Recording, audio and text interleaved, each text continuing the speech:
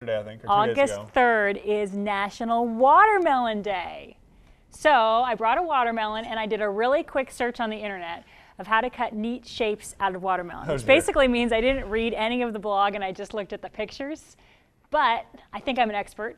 So today, you and I are going to try to turn this watermelon into a like whale or something. We're looking at a beluga, a great white. Uh, I'm not quite that advanced yet, but I, Shamu! I believe that you might be able to, to do it. We just go like, So between the, be, I claim this watermelon in the name of Spain. between a spot on the porch.net has this great pictorial picture What's it called? What's it tutorial. called? Between a spot on between the a spot on the porch.net What does that mean? is where I learned everything I ever needed to know about carving watermelons. I have no experience, but like I said, it's, it's like a uh, it's like a Holiday Inn Express. You stay there once and you're an expert. so today I'm going to teach Andy Yes. how to carve this watermelon. Yes. Are you excited? I'm very excited to